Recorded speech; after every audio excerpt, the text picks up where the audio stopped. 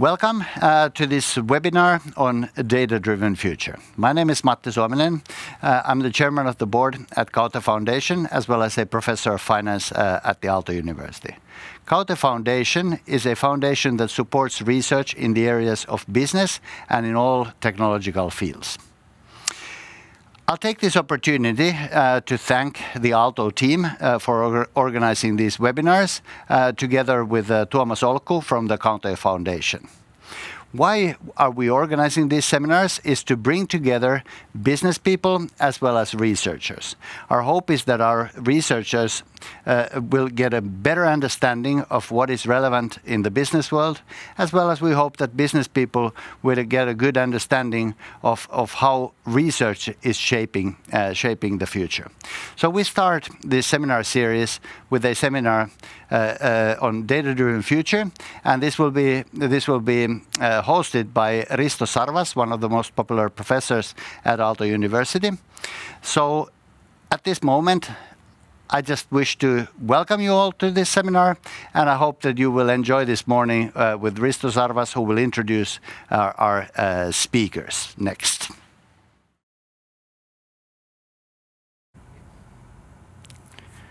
Thank you, Matti, for those words, and good morning to everybody on my behalf as well. Like Matti said, my name is Risto Sarvas. I'm a Professor of Practice at Aalto University, where my job is a Director of the Information Networks Master's and Bachelor's programs. And today's theme is data-driven future, and a little bit more about that in a few seconds. But before we start actually uh, our talks and the speakers, just a reminder to every one of you that we need your help in this as well. So there in the screen, you have the opportunity to ask questions in the chat, so please do that during the talks or after the talks when we have short Q&A sessions. So today's theme, uh, to give an introduction for this morning, is data-driven future. And the first thing I'm actually gonna do with you here today is to change a little bit about that word. Because data, just like any technology in general, is passive. It doesn't do anything in itself. It needs something, somebody to do something with it. So when the question we start talking today about data-driven future is that if data, just like any technology, doesn't do anything, then who is actually driving? Who is in the driver's seat? And especially this morning, when we look at data, we look at algorithms a little bit broader. We don't look at the technology as such, we don't look at the business models, but we take a step back, and we look at societies, and we look at the societal influences of a data-driven future. Now, because the theme of this morning is more about societal level. First, kind of think about, remind us of who are the traditional players in public discussions when we talk about the future of societies. And obviously, news, established media are very important in driving the discussions of what is the future about and what are different decisions made about the future. Obviously, politics, policies, they do play an important role. A lot of economics, macroeconomics, if you will, is in the discussions of what kind of societies, what kind of a future we have. But if we take those three traditional public discussion players, are they all in the current digital age that we live in? So, who is in the driver's seat if these three traditional players are not the only ones? Especially, I would say that these traditional players seem to be very reactive to the changes when it comes to technologies such as data, artificial intelligence, machine learning, and so forth. So we all know typical examples, I would almost say schoolbook examples of these reactive uh, ways of behaving are, let's say, platform business models or ethics in artificial intelligence, or from a regulatory point of view, competition law. That If we look at this, we look at the public discussions, we look at how these established societal discussion players are working, it's, we get this feeling it's more about reacting to those technologies, to those business models that seem to be coming from somewhere, that seem to be happening. So the question is who are then shaping the data future societies we have? And perhaps the answer is obvious. And I think it, in a way it is obvious, but nevertheless, in the past years when having these discussions, is that we need to keep reminding of us of who are the who are the shapers, who are the drivers, because of course an important role is in the organizations, in the professionals who have the know-how, who have the expertise, who have the infrastructure, the networks to leverage and to create business, to create innovations with data, artificial intelligence, machine learning, you know, high technology, and so forth. And why perhaps we need reminding ourselves of this almost obvious thing is that I would say that perhaps these experts, these coders, let's say designers, business people, they don't necessarily see themselves as actively shaping society. If you look at the history of these professions, it is quite obvious that they have not been seen as socially active players. Their kind of professional identity is about creating those business models, algorithms, and technology. And when we look at organizations who shape these discussions, who are in the driver's seat about future, do they really want to engage in societal discussions? Do they want to engage in politics? Because once we step into a societal discussion set of mind, we are actually talking about politics. We're talking about policies. Nevertheless, these individuals, these professionals, these organizations with these capabilities, they do shape the discussions and they do shape the narratives about data, future, and society. Because, first of all, they are the ones who understand the limits and possibilities of these technologies that often seem very cryptic.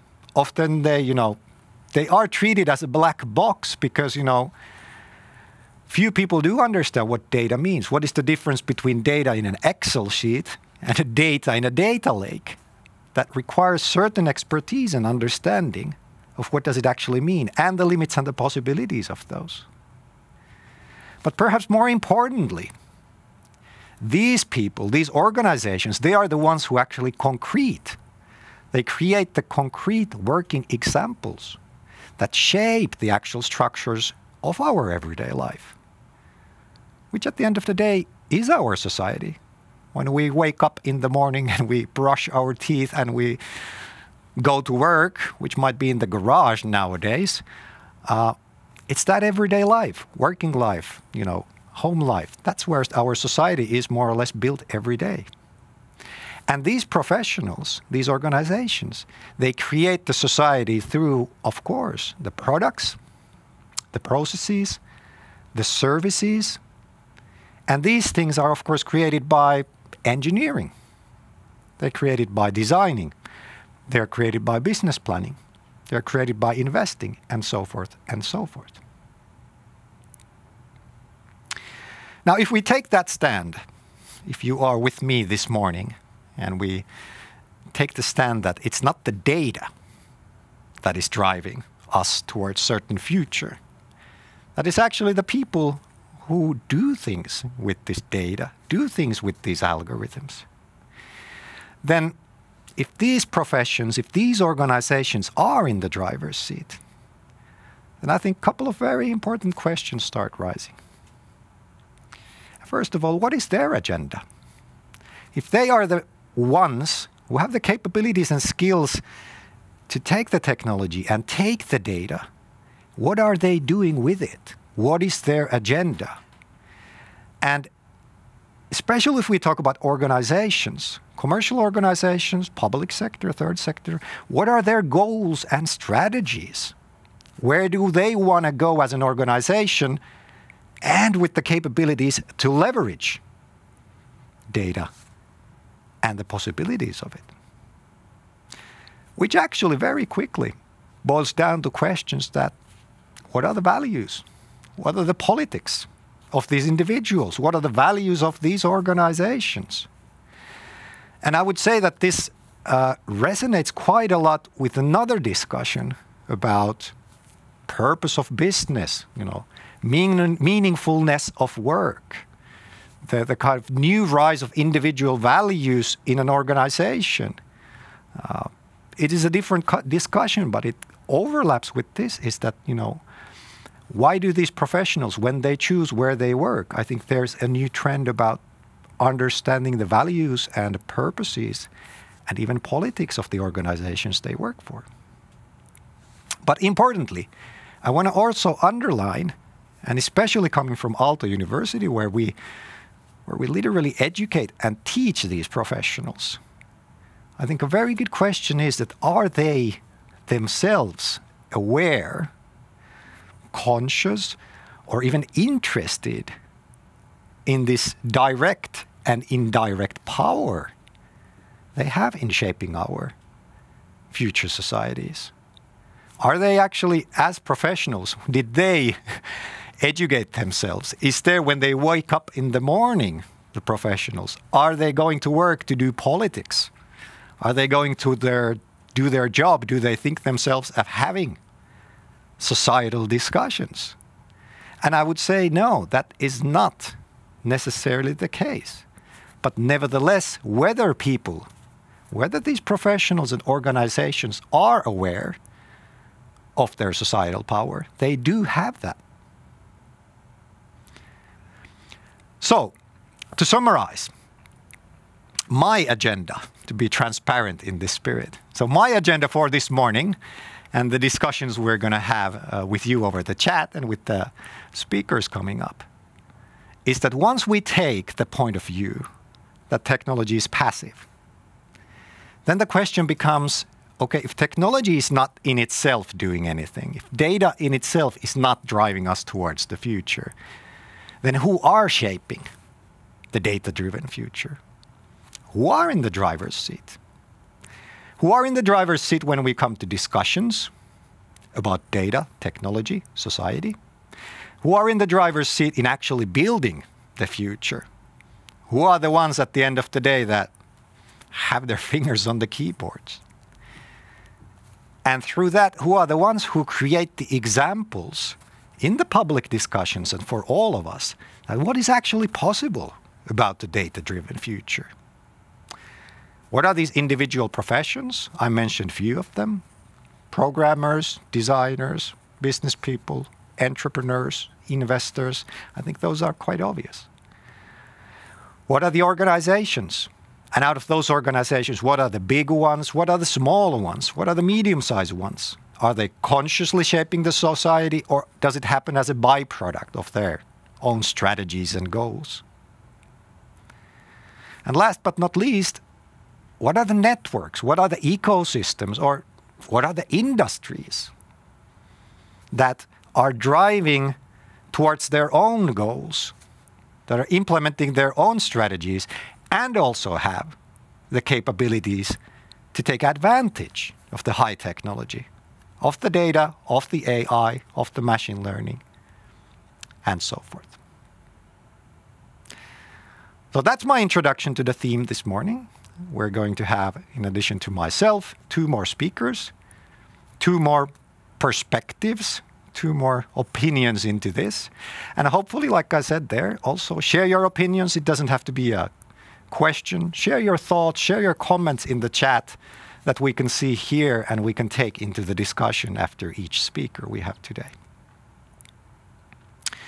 So to continue from this, our next speaker is uh, Eero Korhonen, who's the head of strategic relationships at Google. And I'm sure we're going to have Eero soon here with us. Good morning, Eero. Good morning, Risto. How are Thanks things in? And... Yeah, how are things in London? Well, it's very uh, early here, 7 a.m., and this is the first time I'm speaking before waking up, so ah. otherwise, all right. Okay. Are people lining up for those vaccinations there? I think so. I think so. Yeah, we started yesterday, so quite exciting. Probably taking for months months to come before everybody has received their own ones. Okay, but that's not the theme of today. We're talking about data-driven future. Nice to have you here, Eero. The stage is yours. Thank you. Thank you, Risto, for the intro, and, and thank you, Kaute Foundation, for and Aalto University for inviting me. And, and again, good morning, everyone. It's really good to be with you here. And I'm really excited about the event and I'm looking forward also the discussion with Meeri and Risto after the presentations. I'm checking. Yes, the technology works here. Uh, remote control from London. Uh, as Risto opened as well uh, this morning, the, I'm probably not the good guest here, just starting to tweak the title of the event, but I, have also felt a bit the same that data driven indicates that the data is in the driving seat. However, for me, that it sounds better that it is data supported world because it is other things that create are driving the forces, and the support indicates more that it helps us to uh, to open new opportunities and and uh, and make better decisions decisions based on the data. Like in this photo from Stockholm's Sheps Skeppsholmen, somebody might be walking the same same shoreline there. It is early morning in the data supported uh, future. There's a lot of buzz around AI and ML, and it makes sound like all of us or everyone is now coding with Python as we speak. But if you try any customer service bot, that pretty much proves the point that there's so much things to do before it, we are really far away. There's some basics I wanted to take in this, uh, start this presentation with. First of all, the data, this may sound trivial, but the data is not the finished product. It is just the raw material. Uh, you often hear the claim that when you have the data, that as such is creating the value and is somehow the magical source of, of a uh, business models.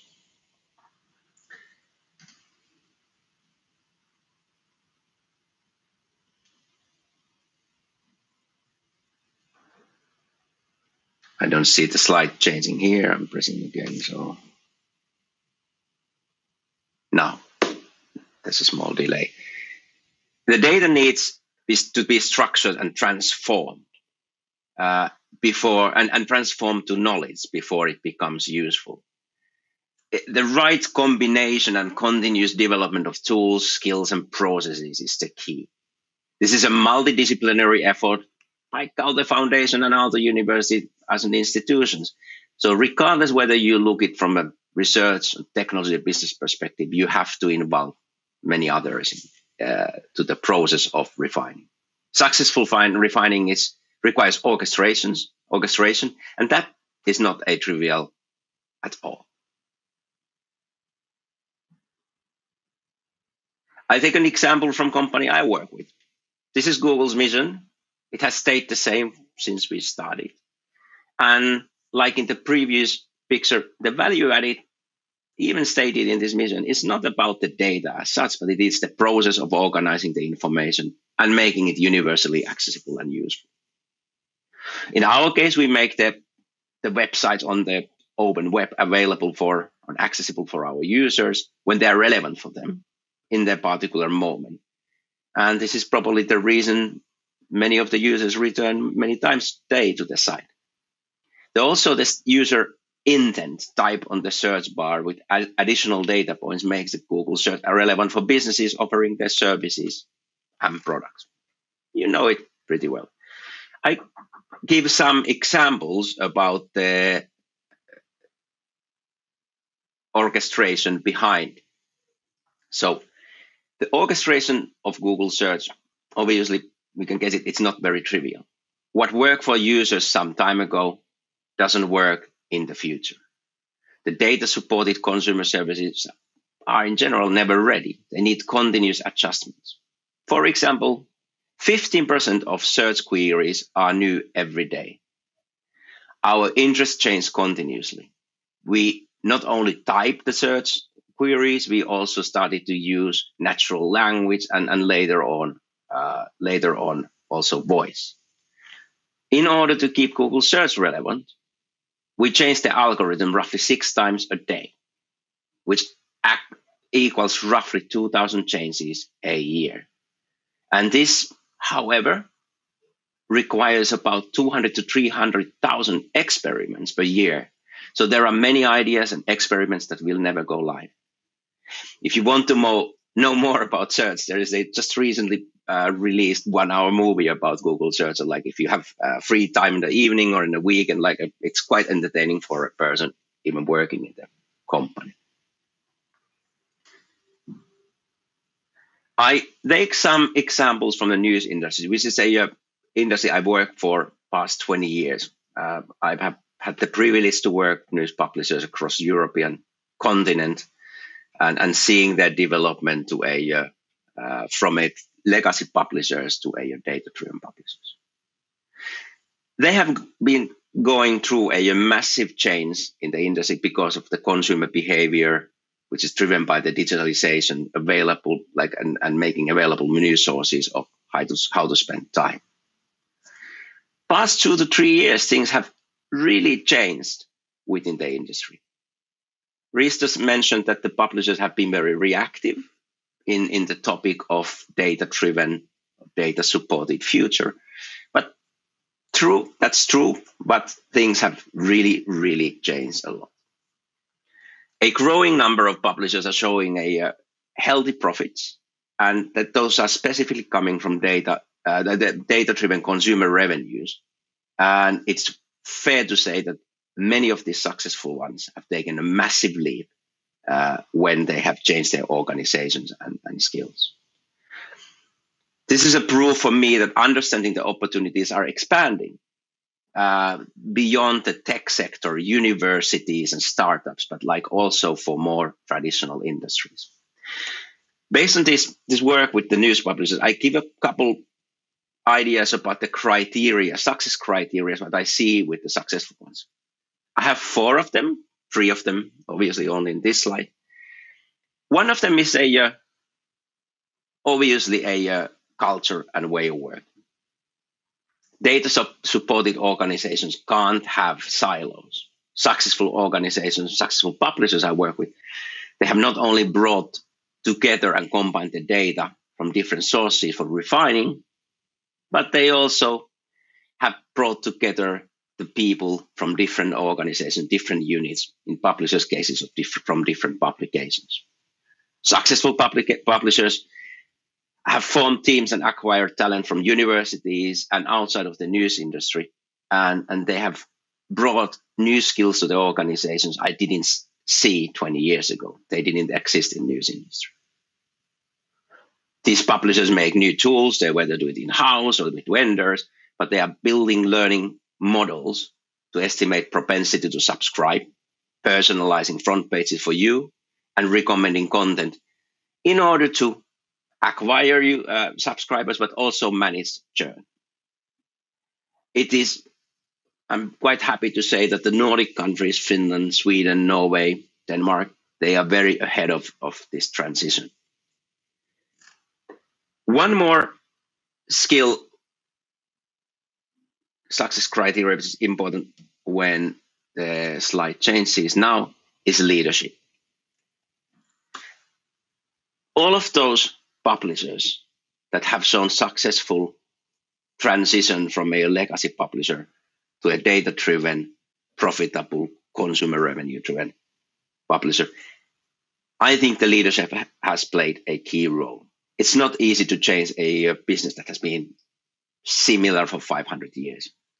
Uh, they have been removing organizational and technological silos. They have driving the change of culture. They have ex- like uh, introduced a culture of experimentation, and they have been able to hire skills that never been seen there, there before. I dare to say that even though these are examples from the news industry, it is likely to be similar for other industries as well. So if you are a leader in an organization and you when you return today to the office or your home office and you feel that I don't see a change to the digital uh, data supported future, it is likely to be up to you to start it. So I, I think these are useful uh, set of criteria for other industries as well.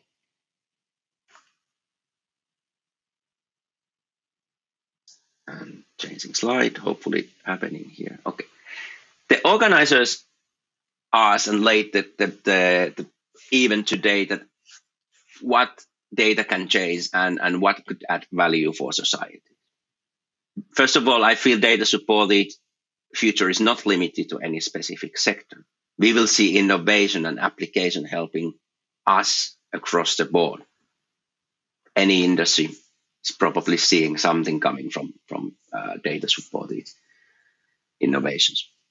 Today, however, I selected three sectors that are likely to get a lot of focus within the societies for good reasons. I give an example from energy sector, food production, and, and life sciences. Uh, I'm fair to say that I'm not expert of all the details of the project, but I think they will give you an idea that, about the direction and, and the, the, the sentiment of experimentation that is going already.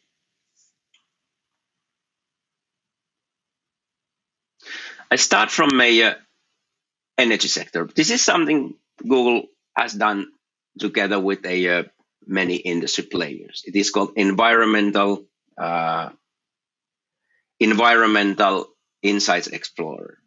And what now I just lost my uh, remote controller here. This is sometimes a bit difficult when you are outside.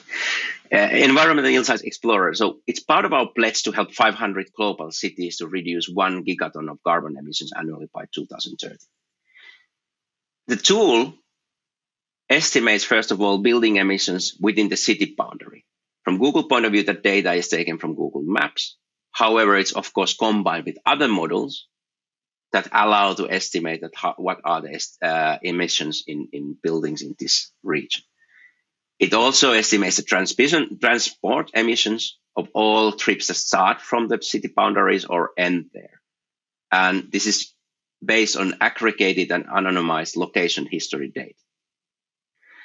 Last, as you can see on the right-hand side, a small box. It also estimates the solar production potential of all buildings based on sunshine exposure, weather patterns, roof size, and roof orientation.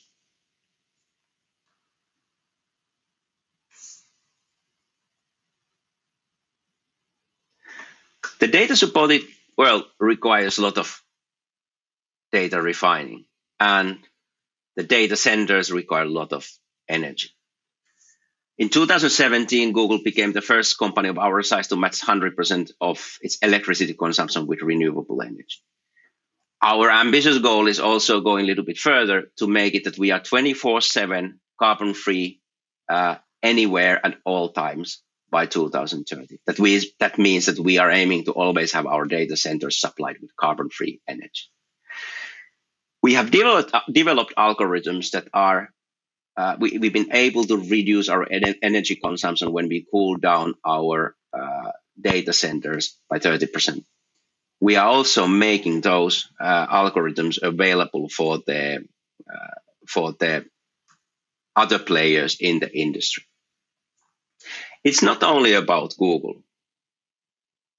I give an example from Finland. Nuuka Solutions, which is an amazing name for a uh, company that tries to uh, help real estate building um, real estate portfolio managers to reduce energy consumption uh, uh, and helping to build a uh, healthy environment in there uh, for for the people using.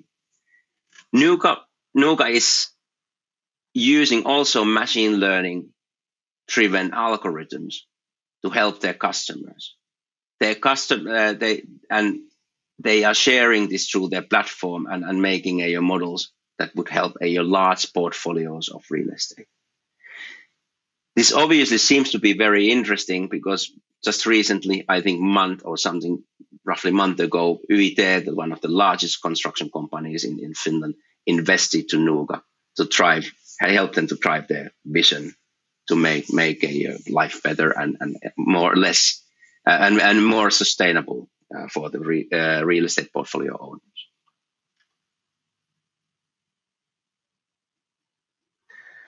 This one is pretty interesting. This is my second last example of the uh, of the speech.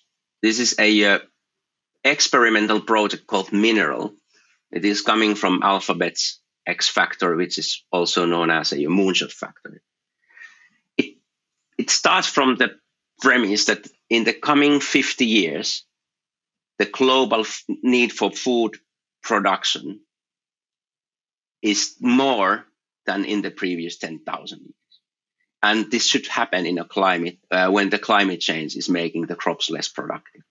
The mineral team, they build new software and they design and build new hardware tools that can pre- bring together diverse sources of information. They started by gathering information that's available already uh, about environmental conditions and soil and weather and historical crop data, how they are correlate, correlating and what are the causalities between those things. Furthermore, they started to use their own instruments to unearth new data, new data, how the plants in these particular fields were actually growing and responding to the environment. Combining this existing data and the, the collected data like plant height, leaf area, and fruit size with environmental factors, they can now help the breeders to understand better how different varieties of plants respond to the environment.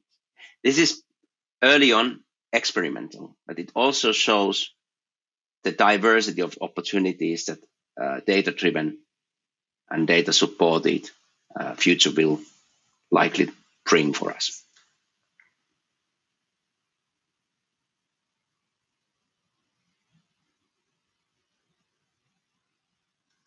Again, yes, finally. Uh, and this is my last example. You might have read about it last week. First of all, I'm honestly not an expert of a uh, uh, what AlphaFold and DeepMind did, but I wanted to select this example because of the comments on the left left side. Deep, DeepMind built a dedicated interdisciplinary team in hopes of using AI to push basic research forward. They brought together experts from fields of structural biology, physics, machine learning, to predict the three-dimensional structure of protein based on based solely on, on its genetic sequence. So as we started, definitely the right combination of skills and, and way of working. If you look the comments, once again, this, but the spirit of the day as Risto started uh, his, in his opening speech is about the, the data informed and data supported. The refined data by now uh, done by AlphaFold opens new opportunities and helps us make the better decision faster. In their case, they accelerate research of biology and drug development.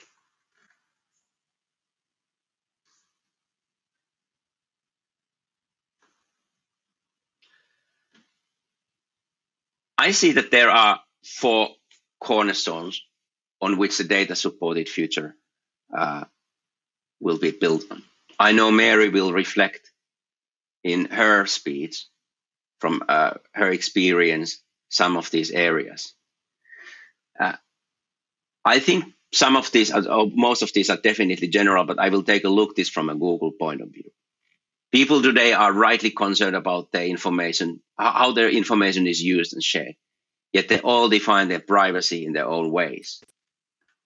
If, if you are in a family using internet through a shared device, you you might be or the, your privacy concern might be the one that you, you, just don't want your family member necessarily see what you have been uh, doing, and you want to keep your information secure. So a small business owner, privacy means keeping the customer data secure. To a teenager, sharing selfies, privacy could mean the ability to delete the data in the future. At Google, we are privileged that billions of people trust products like Search, Chrome, Maps, and Android to help them every day. And this trust we match with commitment to responsibility. For private users, we give very clear and meaningful choices around their data. And, and we have two very clear policies. We will never sell any personal information. And we always let the users to decide what do they do with the information. Inclusivity is, is also extremely important when you develop tools and products in a data supported world. AI algorithms and datasets can datasets can reflect reflect, reinforce, or reduce unfair biases. We also recognized recognize that distinguishing fair from unfair bias is not always simple and differs across cultures and societies. So we will seek to avoid unjust impacts on people, particularly those related to sensitive characteristics such as race, ethnicity, gender, nationality, income, sexual orientation, ability of political or religious belief. In product design, we make sure that the underrepresented voices are being heard throughout the product development process from the early phases of ideation and prototyping to the UX design and marketing all the way to the launch. The product developers ask questions like Does it make sense for people living different places around the world? Is it useful for people of all ages? And are all ages represented? Are all races represented in this product? Last, the sustainability we touched in an example as well. The data must be refined in an environmentally sustainable manner. Going towards a data supported future have to mean that actually it's better from the environment point of view than it is now. So we all today in this call, we need to keep this in mind when moving towards the uh, data supported one. This was my opening today. And if this click works, it says thank you and kiitos. Thank you, Eero. Always a privilege to hear uh, somebody from inside Google and sharing your perspectives on that. We have two questions in the chat. I'll start with a shorter one and then maybe a tough one. Uh, first of all, is the question that related to the Environmental Insights Explorer that you showed. Why is this data not public for Finnish cities, cities in Finland? Uh, it's. So the service has been launched rather recently. So they are building the the database as we come. So when we made the pledge for 500 cities, it is still ongoing the process. So uh, you need to still stay tuned and, and follow up when when there are other cities available. But not it's not yet the all 500 cities there. Okay. Then the other one, uh, we have a question that is data-driven future. Is that a global mega corporation future? What do you want to say to that? I think the examples, like you, you, when you started, also you mentioned that there are, it is in the hands of of few. However, if you see that how the tools and products and skills are expanding to all sectors of industries, there's an easier access to a machine learning tools. There are easier access to skills. People are training themselves. I believe that we will see it from small companies to large ones. Uh, it is not in the hands of you, and and this is built for everyone. And I, I believe that uh, next few coming years, like Nuga Solutions, there in, as one of the examples, you will see a small companies coming up with the great ideas and create solutions that will be helpful for their own customer bases. Mm-hmm. And I do agree. There's a there's a balance between which is kind of stating the obvious that a, a company like where you work for has a huge power and in that sense responsibility about shaping future. But I also like the fact that you mentioned that actually sharing these tools, sharing the knowledge is kind of a democratization in a way that to have more people have more societal power is about education and giving tools and all that. And that can be said about Google as well, that it's a, uh, one of the forerunners in, in sharing, sharing many of these things. So anyway, there, there is this, this balance, obviously, that I'm sure that has to be continuously discussed. Absolutely. Uh, Thank you, Eero. We're going to now go to our next speaker, and we're going to have you, Eero, back soon after that for a general discussion. So, our next speaker, another perspective and a point of view to the uh, morning's theme, is uh, Meeri Haataja. Welcome, Meeri. Thank you very much. Thanks. And Meeri, you are the CEO and co-founder of Saidot. Correct. And also you are the chair of IEEE's ethics certification program for autonomous and intelligent systems. That's a great name for AI. that is, isn't it? that's a great yeah. name, and that's a mouthful for a business card as well, I guess. Yeah, yeah, yeah, it is. Nevertheless, happy to have you here this morning, and thank you very much. Thank you very, very much, and I'm so excited to um, to have this opportunity uh, and. Uh, uh, talk after these uh, amazing uh, discussions that we heard uh, previously, and I, I particularly uh, love that uh, Eero raised this, uh, for example, AlphaFold, uh, the recent progress uh, in the AI that we have seen. And it's absolutely critical to start by discussing about the opportunities. Uh, that's the reason why we are in the data. Um, data business and, and, and uh, changing our societies from that perspective. But let me expand this discussion with a couple more perspectives uh, so that uh, we have even more di diverse or like wider space to discuss the initial questions that Risto raised in uh, in, in his discu discussion. So I will uh, come uh, or bring bring on table uh, two, two, uh, two perspectives and sort of uh, want to point into one particular challenge that I see uh, is impacting how how we drive this business and, and also raising that as a as a question on table for people uh, who might have an influence on, on that one. So when we talk about impact of AI in our societies and, and data or AI, this whole space, it's it's very clear that uh, we are in a situation where uh, we start to we really have impact uh, impact in our societies. Uh, so. Uh, so for all the examples that were discussed in Eero's presentation are really, really proof for, uh, on that one that we are we are doing many, many exciting things and, and there are opportunities on table. Uh, that's also the reason the, the impact, namely uh, for that that there is this another perspective, and, and basically when we follow what uh, what kind of impact we are creating, we see that sometimes this impact is something that we can rightfully say uh, it is not fair or just, and often these uh, sort of unintended impacts or something that is secondary or externalities to the uh, original impacts that we have strive uh, strive for uh, is something that actually the people who have been developing and deploying these technologies haven't even seen or uh, uh been prepared for.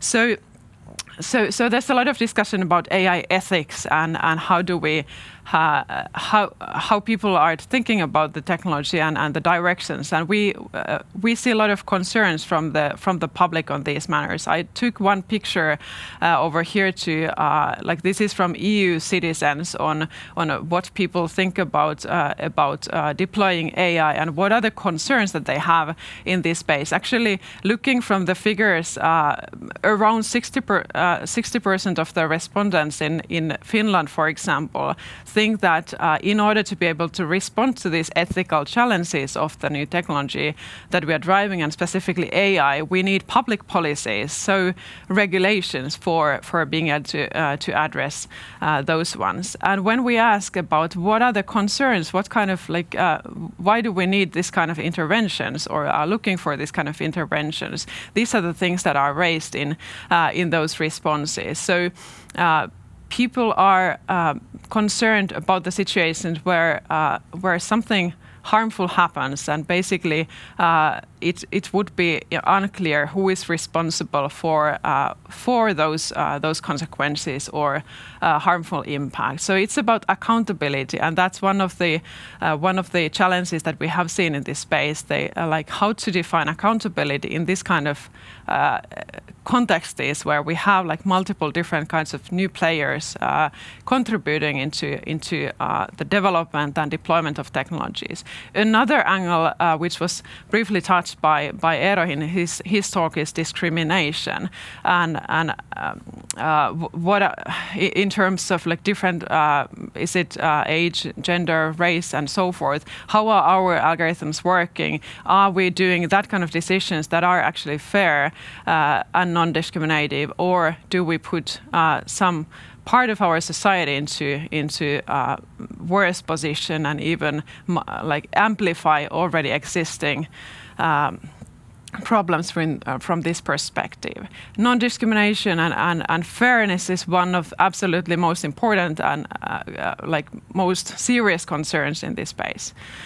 Uh, also, the agency uh, feeling that do we have a possibility to have an impact, and uh, who do we contact if we have problems, and is there a possibility to to influence is also also one one important angle. So this is the this is the voice of the people and like the problems and concerns that people have when when we talk about the data business and and data-driven or data-enabled supported future.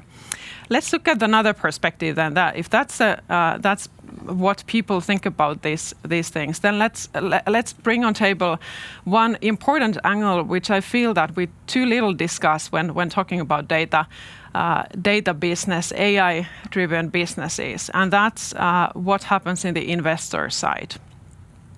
What has happened over the last couple of years is actually very very interesting and important from this angle. We have seen great uh, rise of uh, what we call ESG investment, and ESG refers to to factors, sort of non-financial factors or criteria, uh, environmental, social, and governance-related factors.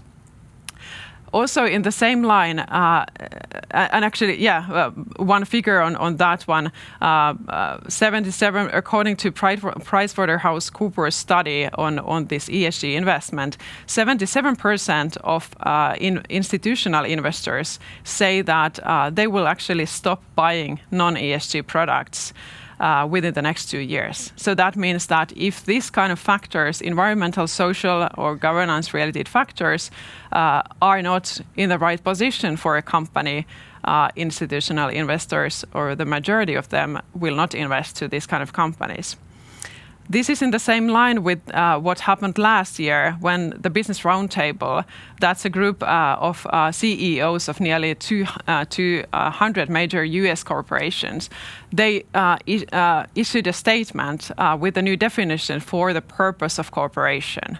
And what is that purpose is basically challenging the the old notation that the purpose of corporation is to is to create value for the shareholders. In this new statement, this group of most powerful companies of U.S. say that the purpose is not only that one, but it's also to benefit the different stakeholders of a company. That means employees, uh, customers, and the whole society. So many many interesting angles like happening on here, and the last one, uh, like during the pandemic this year, one more important change that has happened is basically when we look into this ESG Uh, space and the different factors, environmental, social, and governance, what has happened is basically uh, that uh, the importance of social factors have have really significantly increased in comparison to the to the the previous emphasis on on quite um, much on the governance and environmental factors in the in the uh, from the ESG perspective. So what I try to try to uh, say with all of these different um, Uh, data points from the investor perspective is that we are living times where social impact actually matters for uh, investors as well, and that uh, matters how the how the financial markets work and and how money is being directed to our industries and companies. So how, how does it happen in practice then? Let's continue still on this investor perspective. When we are saying that basically there is an interest for investors to invest in responsible companies those kind of companies which actually consider the social impacts uh, of their businesses and the actions that they have in the societies. How does it happen in practice? This is long, long story, very short. There is basically an industry that is supporting investors uh, in doing this, uh, doing this analysis and, and figuring out uh, what are the what are the impacts that companies have uh, in in in the society. These are the players uh, that are providing uh, analysis, uh, ESG analysis for for investors, uh, collecting. hundreds of data points related to different different aspects, how companies are considering environmental, social, and governance factors, how they are managing the risks related to these these areas, and based on this analysis, uh, investors can can do uh, considerations and decisions whether whether uh, the angles that they they are concerned about uh, actually have been taken care of in, a, in an appropriate manner uh, in the in the companies. And now I'm getting into my uh, my really key point, and let's have a look at. how do these criteria now look for for Eero was discussing about um, uh, communication industry, uh, publishing industry. Uh, this is actually an industry where Facebook and Alphabet, uh, Google uh, were were uh, shifted uh, a couple of years ago in this industry sort of categorization. So it's it's good to look look into that one. And if if you see, I need to check from here so that I see see the figures.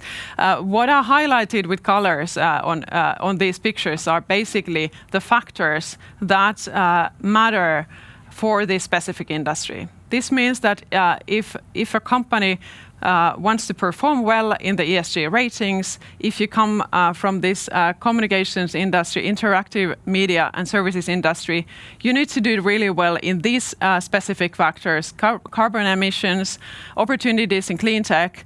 From the social aspect, we have privacy and data security, human capital development, that's about the em em employees. And then we have different governance and board pay, related factors. But my point is, uh, is, uh, is in, uh, in this specifically. When we look at this list, what are the things from the social aspect that matter in these ratings?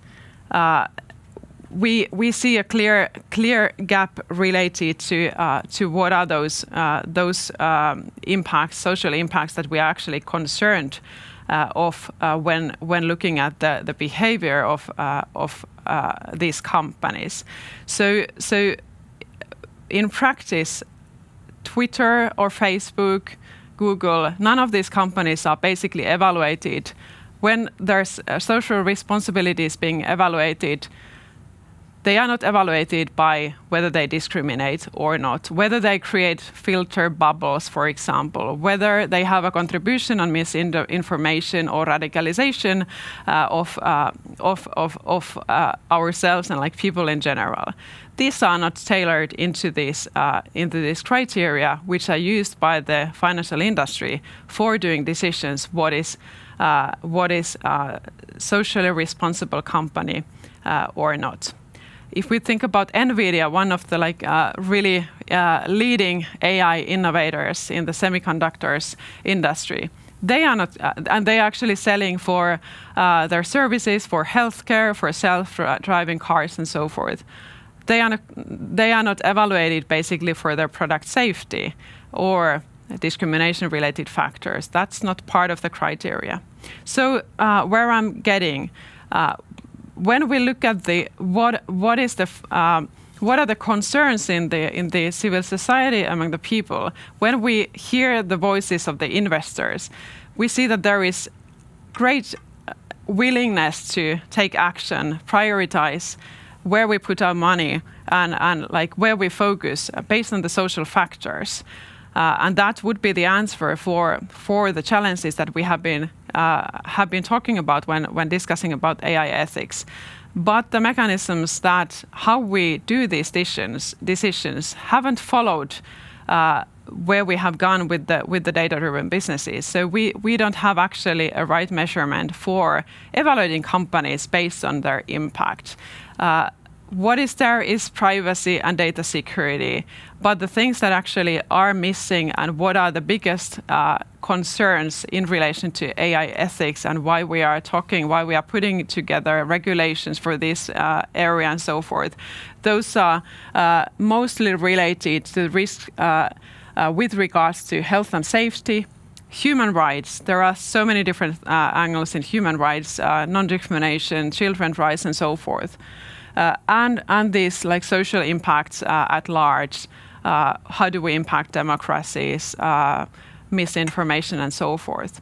So my my my point and sum summarizing uh, this, what I'm trying to say and like put on table is that uh, this is an opportunity. We uh, we have investors waiting for being able to direct their their assets into into sustainable sustainable companies, uh, companies that actually consider all these uh, also uh, um, secondary and externalities uh, of, of their businesses.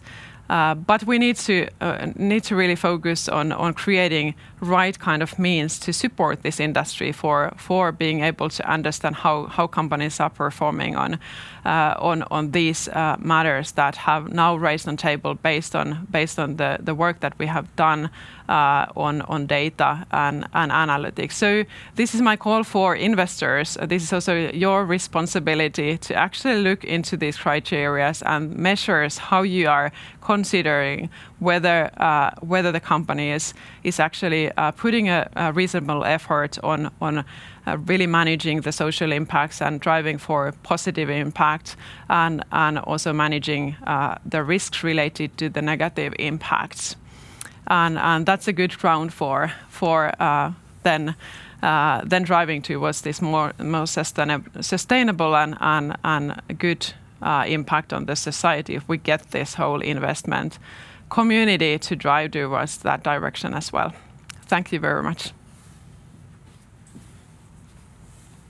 Thank you very much, Meeri. And thanks, I'm much appreciated finding the time to come here this morning. Absolutely, my pleasure. Sharing, sharing all of this expertise with everybody here. Um, we have one question there. I'm going to take that question and kind of spin it more towards your presentation. And, and we had a, from the audience, Ines asking about mm-hmm. who actually then shapes the shapers that mm-hmm. we started talking about this morning. But I really liked in your mm-hmm. presentation, you had the rating agencies mm-hmm. as kind of a very, uh, I hadn't realized this until hearing your presentation, but they have a very strong role as an intermediary there and what they do is they take the raw data and then they summarize it and analyze it and mm-hmm. bring it on a silver tray. Uh, so obviously, what you pointed out is that that do you do you see that you see that as a problematic? How where what kind of decisions and what kind of societies do these rating agencies want us yeah. to have? Yeah, I, I've I mostly want to see this as an opportunity actually. Um, uh, be, it's good to have that industry to to be able to mediate this uh, this work in in uh, like so that um, we need this means like it's Im impossible to do that analysis without this kind of uh, uh, players in place. But what I want to say is that like you know this is a call that uh, that we need to keep up with the pace uh, how the industry, the technology industry, is going. And now I feel that there is there is not really uh, a good connection still with the what we uh, talking the AI ethics, AI governance, and like the regulation, that that whole space, mm. and this uh, this rating uh, rating industry. So so. Um, I don't want to point any anyone on that one. I, I more of uh, see it as an opportunity, and we need to see that there is something, there is a mismatch over there, and if we get to fix that, uh, that's a great opportunity to actually uh, get. a very powerful uh, stakeholder group, investors, uh, to drive towards this uh, same direction. Mm-hmm. To kind of take the theme of fair fair society, a just society on a broad mm-hmm. perspective, I found it really interesting that we have these rating agencies and also the investors. So, of course, kind of going back to my mm-hmm. my uh, mm-hmm. talk in the morning is that that what do they see as a fair society? Are they the ones? Because, as you said, mm-hmm. they had a huge leverage and power to shape where technology and business is going with mm-hmm. investments. Yeah, so it's kind of interesting that if these are the ones who are putting their capital into certain visions Mm. of society. Yeah. So traditionally, that has been in the West a democratic process that Mm. we kind of vote what kind of a society we have. How do you how do you see that? Are we now actually shifting to a to a I think it's discussions a- about democracy? Who gets to shape the future societies? Yeah, that's uh, uh, that's one of the l- large societal impacts. Like you know, and, and like you know, how to rate whether a company is actually shaping democracy uh, with its technology. It's a, it's amazingly big and difficult question. I don't know how to how to answer that. But I think the first thing is is really to realize that this is not about privacy and data security only. That's not the the, the responsible data business there are so so many other aspects and and sometimes they even might be conflicting with privacy requirements. So the so uh, it's a great progress that we have done with privacy and, and GDPR getting privacy action actually on table and like there is no company who doesn't uh, doesn't see that we actually need to act on this one. In Finland we have had like uh, calls for that one and crisis on on uh, on health data breach uh, lately. So there's a lot of uh, work to do there as well but but uh, that point of view where we we uh, would only consider privacy and data security uh, as the only factor uh, on on AI ethics or like what is responsible data business is is very biased. That's a good point.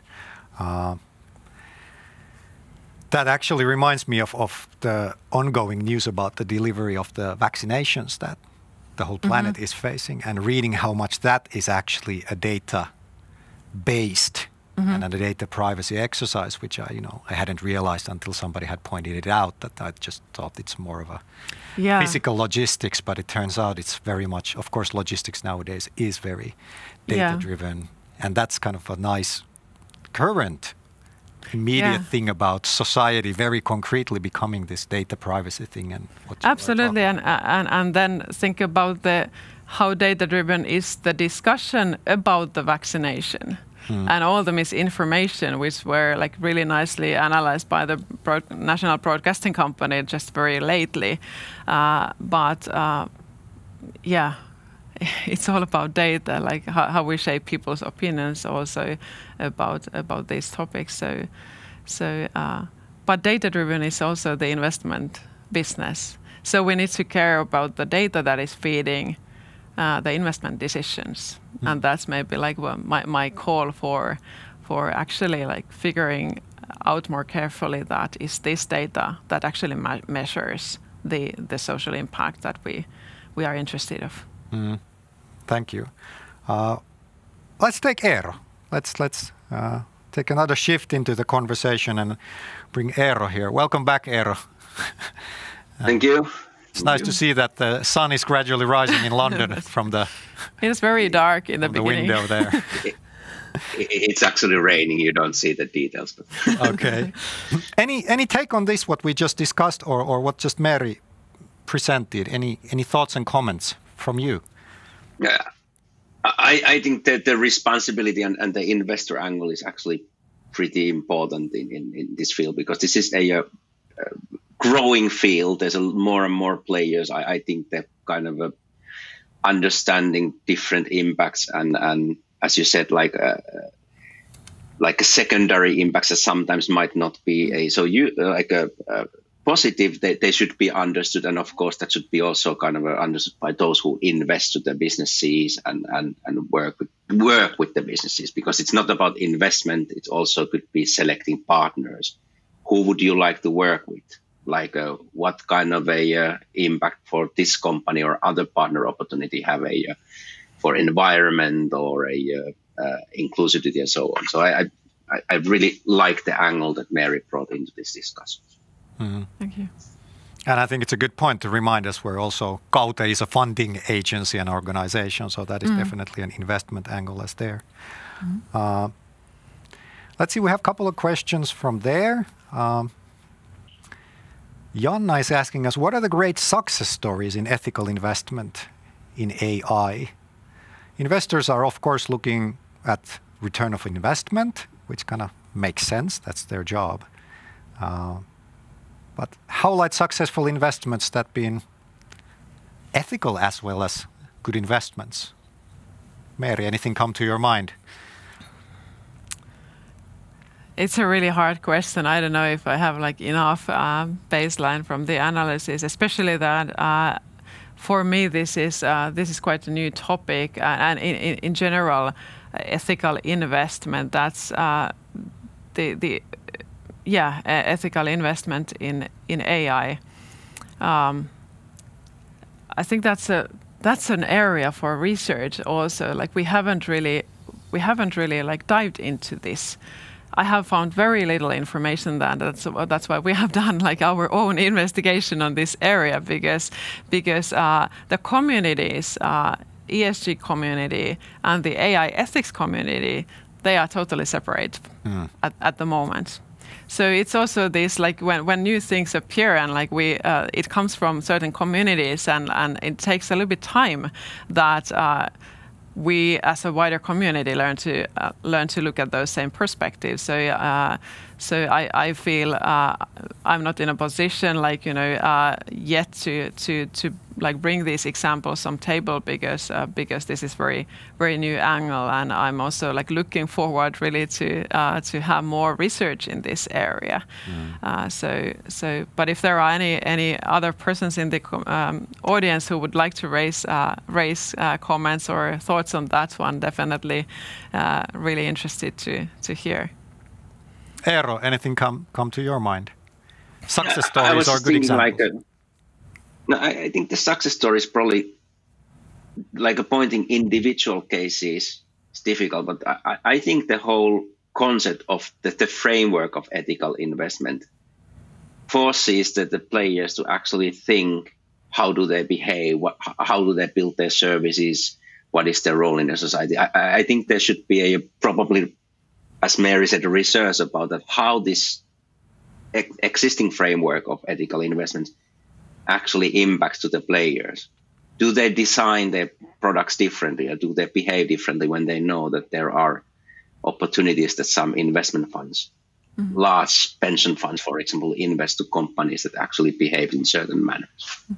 But in general, I, I, I, really think that the whole ESG space and the rise of uh, rise of that uh, over the last couple of years, and I know that there has been like you know years of work, uh, people in the sustainability area and uh, like looking from the environmental aspects it's been hard work and for years and years it's not a new thing but like the boom that we have seen over the over the last uh, couple of years in this space and now it's actually like there is no investor who doesn't uh, doesn't know this space and like you know uh, isn't even sort of pushed or pressured to to have a stand on this one. Institutions who would say that we are not considering, uh, we are not inter- interested about ESG factors. We only focus on the on the profit uh, is not uh, probably a best move from the uh, or like most attractive from a brand perspective. So it's uh, it sort of starts to be a must have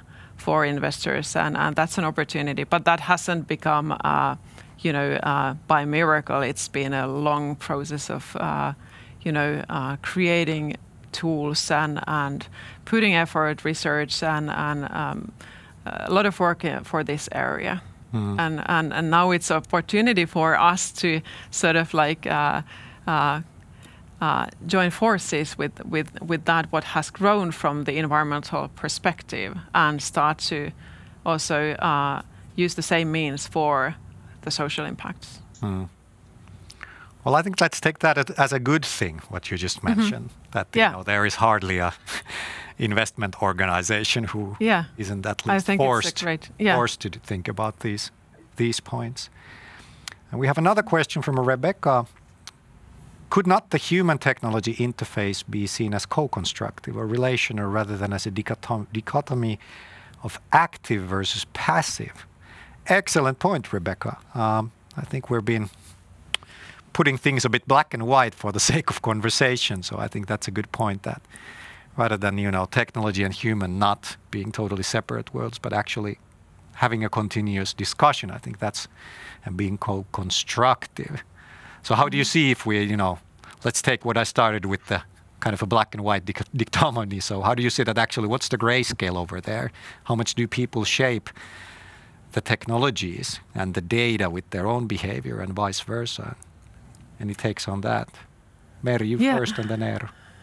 Yeah. Um, one of the um, one of the really important principles uh, from the responsible uh, AI perspective is transparency, and I've been like personally focusing on on that one uh, very much. But it's fair to say that transparency from only that perspective that uh, we broadcast information for people and that's it, like you should trust on on on what we build if we are open about that one. That's uh, that doesn't sound that that's the that's the whole picture and actually uh, what contributes to the to the trust in a way that we are interested to contribute to that. And I think that the missing piece is the the the feedback loop and and like how do we actually build technologies that are uh, uh, in a broad way uh, allowing a meaningful feedback from the users and, and how do we take into use that feedback uh, in, in further developing our, uh, our technologies. I think that's, that's also very important from this trust perspective because people trust what they can be part of. So, so uh, if we can actually, and this whole like one one of the concerns that I showed regarding uh, regarding the technology, that we have a feeling that uh, we cannot actually influence, and that's a bit pretty scary if we if we saw errors and we don't have a possibility to influence. Uh, that's that's a scary scenario. So so. I think I, I, personally actually think that this whole, whole human technology in, uh, interactions and, and like interfaces, new interfaces for promoting uh, trust-based uh, relation between the technology and humans. Explainability goes into that uh, space with what we are calling. So uh, it's one of the most in, uh, important and one of the sort of um, fundamental success factors for for the future of technology. So I don't know any any thoughts mm. from Eero. Eero, take it from there. yeah, I, I gave an example during the presentation about like I see multiple angles, but if we take from the product development point, like uh, a company working in a global scale and having a, uh, billions of users in different products, we have to take the feedback uh, loop when we develop new features or new functionalities. And it doesn't mean only relying on the data that we, we get from the usage, but also really having different uh, the people from different groups represented, like when we developed the, the functionalities, whether it's Android or Maps or others. I, I, I, think that's one of these things. The other angle is that we make that you all can go, for example, look from your Google account what what is what information there is, and we have given the controls because that's one of the ways that we know that people can trust because they know that they actually are in control about the data. There is an opportunities to delete them. And there's an auto deletion process that we don't also keep old data, which is unnecessary to run the uh, product successfully. That's I, I, see that one of the angles. Of course, there's a lot of lot of more cases coming, like how the kind of a human interaction and the machines are combining. And, and one of these, I think Helsingin Sanomat in Finland wrote like a week two ago, like some experiment where a uh, mobile phone camera technology was used to help a blind person to, to, to run without guides and, and, and things like that. So there's a lot of innovations done together with with humans. Mm-hmm. So not yeah. sure did I answer that, but like it's a difficult one. Yeah, one more point to that. Uh, uh, thinking of uh, some concrete means for how to uh, how to improve your uh, capabilities or like you know uh, position in in uh, your capability to um, develop responsible uh, technology, uh, the stakeholder engagement and the um, how your team is shaped, like who, what kind of people are developing, is is if you put effort on that one, uh, that you have a diverse team who has re enough representation of the different kinds of groups that you are targeting uh, with your technology uh, bringing different voices and perspectives on table, and you collaborate with the people who are actually users of your technology or like uh, indirectly influenced with your technology. Those are two probably most powerful ways and you know it like you know this is what design um, as a practice have have like you know uh, that's normal practice for them but now now introducing these as a means uh, to ensure ethical responsible technology development and, and ai development is something that we clearly still need to discuss about because uh, because we are not living that that world yet but uh, it's very important yeah, and I actually I take something. The, what, what sorry, I add here that the team, yeah, go ahead. the team diversity. This is ex- excellent comment by Meeri that the team diversity is extremely important. I wouldn't limit that to technology companies as such. I, I think anywhere in the societies we should be like a really carefully looked at what kind of teams we have in place and, and, and do we see that the society from all angles that we need to understand. I, I think media companies, for example, they have been investing this a lot lately. Mm-hmm. They because they tell stories to people. They want to make sure that the, the stories come from multiple angle and they're considered from a, from the diverse points of view. And now bringing link to sorry, sorry for my my, my earlier uh, point on the in, uh, in the in the mechanism how we how we rate companies. Uh, what would you think if we would actually start to report the diversity of the AI teams, not only the board or management team, but the people who are actually developing these systems. And, and, and that's one, one small item that if we would have, if that would be something that we actually prioritize and are interested about, and, uh, and, and companies would start to report that kind of factor, investors considering this, uh, this uh, in their uh, considerations I think it would this, be interesting yeah. to see the impact because, uh, but this yeah, is what we are talking about. No one is measuring that. No one is sharing any any data about that one. But I, I think it's it's good time for companies to start preparing for that. I don't know what Google thinks about like, uh, and and if you even are sharing uh, already. I know that you have been putting a lot of effort on this one, but uh, but uh, as a practice, we are interested about uh, in reporting CSR reporting. We are interested about the board and management team com- uh, composite and also uh, maybe figures on on a uh, high level. What is the gender uh, balance in the company? But who are developing the AI uh, technologies? No one knows. I think that's that's that actually relates back to the what as far as I know, actually when you go investing into startups, you actually invest in the team. Uh-huh. And I think traditionally it has been the diversity of the team more as a technology design Yeah. business diversity. Yeah. And now kind of if I'm optimistic, I see that there is this existing mechanism or way of thinking that we actually look into the team mm-hmm. rather than actually looking at what do they say that the final product is. Mm-hmm. Which Yeah. is something Juero Yeah. brought up that I made notes over here when you talked about the capabilities in a data future was experimentation. And I think that's a big major shift in in innovation and product development, mm. where we're not so much asking that tell me what your exact final result is, what is the final innovation, because uh, you don't know yet. But we're looking at your capabilities of experiment, and now you're kind of bringing forth Absolutely. of Yeah. looking at the diversity of the people, and perhaps going back to what I said earlier, looking at the diversity of what different values these people represent. Yeah. Yes. Yeah, yeah. I, I think that's a like absolutely important point. This whole learning, learning by doing, and like and and, and basically the interest.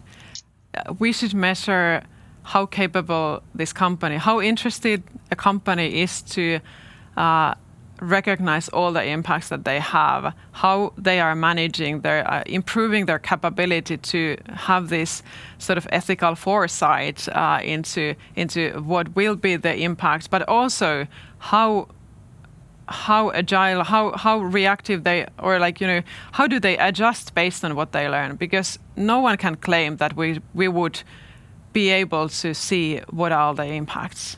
These are complex technologies, and society is complex. People are complex. When we put tho- those together, it's a fact that we, we, we need to be able to take feedback quickly and, and, and adapt how we work. So that's also like I think really important and, and we shouldn't even try to strive for that kind of situation that okay, we know all the impacts and like we, this is ethical. We have managed everything. That's that that's false because that cannot happen. But but are we prepared?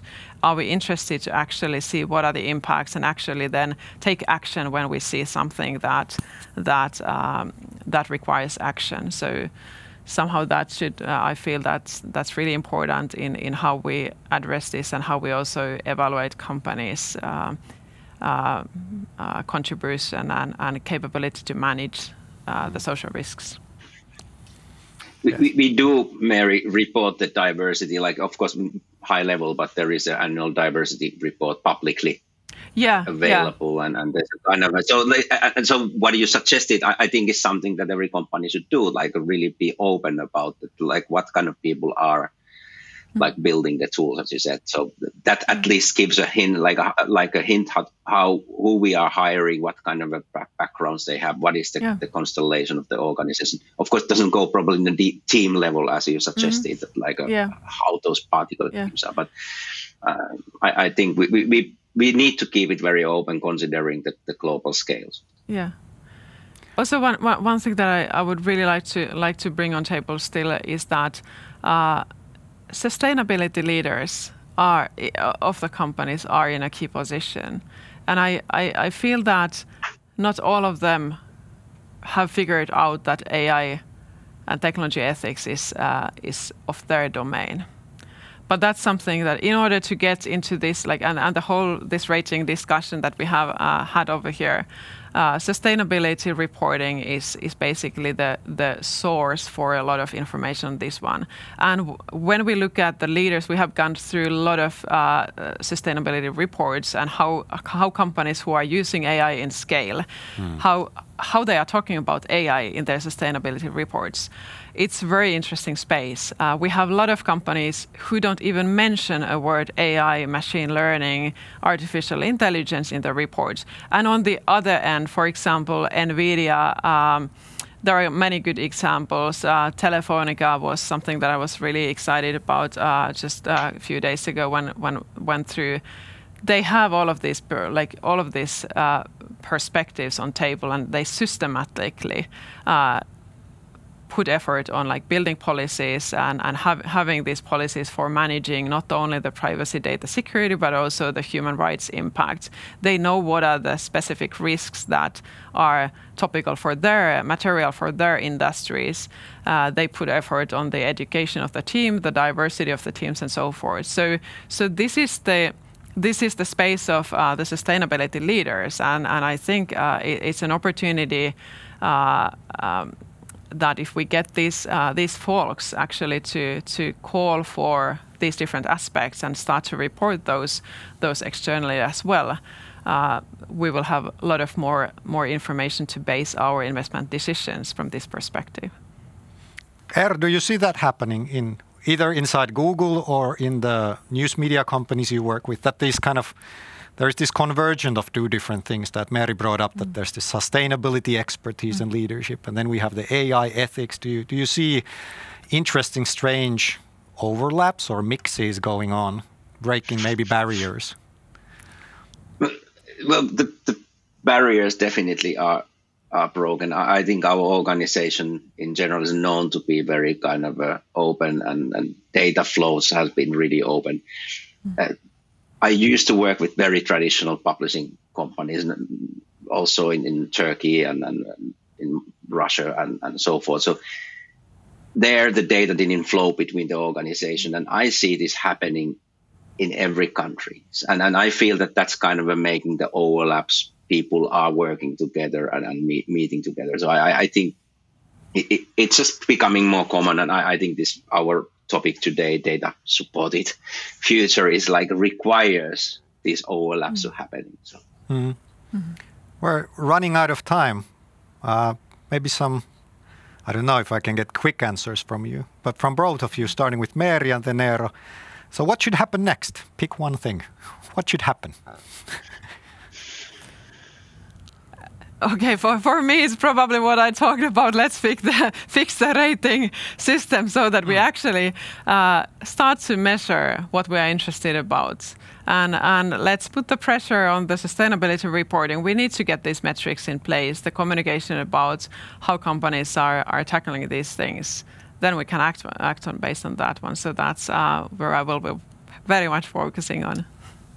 Thanks, Eero. What about you? What should happen? I would look to the leadership. I, I, I think I've seen that there are companies that didn't understand how like they have easy wins to gain. And I mean easy wins that they don't go to the kind of uh, the top class of AI driven company immediately, but there are a lot of things that companies all over the world uh, they, they don't take the opportunities. They could start saving the, the, the energy consumption or they could do better job for their customers for example, as a publishing industry. So I think the leader should really take a look that, hey, am I following the path? And am I going to take, take these small steps forward in the coming months to kind of be more data savvy player? Because we are really early on. I, I think this is like when, when we talk here, we have, we've been living with this movement for years already we think that everybody's actually mm. like ready data support but like mm. most of the companies they still need to take the first strong steps forwards. Thanks. So definitely diversity in that thing as well. Um, but time to conclude. Time to wrap up the uh, morning. I made a lot of notes here. I think a couple of things at least i underlined and maybe uh, to continue talking about what should be research and all that is actually the impacts and the causalities of what is going on. I mean, do we know that if something does this, how does it affect that? And not from just a user interface perspective, but from a longer perspective. That how does this shaping of society actually happens? Of course, it's enormously complex and so forth. Um, other thing I also made a lot of notes about here is what you brought up here in the end about kind of these converging of, of sustainability leadership with the mm. AI and ethics leadership so that, you know, mm. things are happening and maybe certain barriers are are breaking as well. And then I think kind of as a basic thing, I think there are still some very, how should I say, conceptual research to be done. Uh, what does it mean to be accountable in this kind of a society? What does responsibility here mean? Uh, rather than being a vague big abstract concept. What does it mean? How does it become something? You know, those coders and, and designers and investors and entrepreneurs can actually act upon. I think that's you know, that's where the rubber meets the road, literally. And then uh, team diversity that was that was brought up as well, which I think is a very nice segue uh, to the next Kaute talks. So uh, Thank you, Meeri. Thank you, Eero, for this morning. Thank you, everybody who participated in the chat. Thank you for hanging around and listening to this webinar. The next one will be on February 2nd, and the theme will be uh, actually diversity in organizations. So we almost, without uh, hesitation, continue pretty much where we ended up here. So, on my behalf, thank you very much. Have a great holidays and stay safe.